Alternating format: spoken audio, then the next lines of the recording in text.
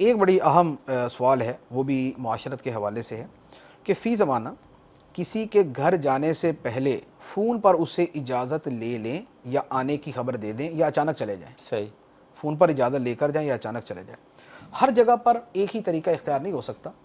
आम तौर पर यही होता है कि लोग मिलने चले जाते हैं जाने से पहले फ़ोन नहीं करते। इसमें अफराद के अतबार से सूरत मुख्तलिफ़ हो सकती है। और वक्त के अतबार से सूरत मुख्तलिफ़ हो सकती है।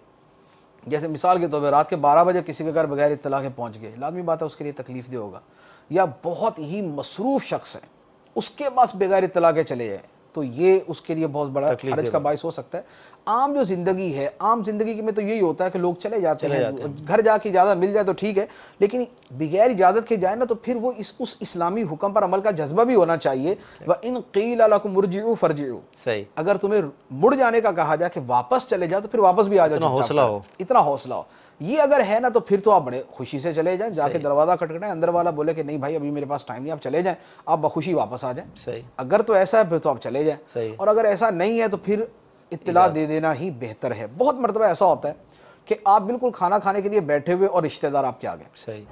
अब रिश्तेदार आपके आए और आप खाना खाने बैठे हुए लाजमी बात है उसको भी खाना खिलाना। है अब खाना खिलाने के लिए आपको नए सिरे से इंतज़ाम करना पड़ेगा उस वक्त अवेलेबल नहीं है आपको अपनी भूख लगी हुई है अब भाग दौड़ मच जाएगी सही बात। यानी ये ख़ानदानी मामला के अंदर ये चीज़ें इतनी होती हैं कि अलामान वाल हफीज़। तो जब किसी के यहाँ जाना हो तो पहले इतला दे देनी चाहिए।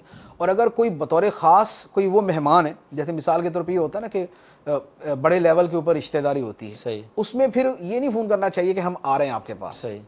उसमें भी उनकी भागदौड़ मच जाती है। उसमें तो एक दिन पहले बोल देना चाहिए कि कल हमारा आने का इरादा है और उसमें भी आला दर्जे का अखलाक ये है। हमें कल आपके पास आना है। आप बता दें कि आपको सहूलत है तो हम आ जाएँ। सही। ये जो लफ्ज़ है ना कि अगर आपकी सहूलत है तो हम ये कर लें हम आ जाएँ हम ये ये तो ये अखलाकियात की रूह कह लें आप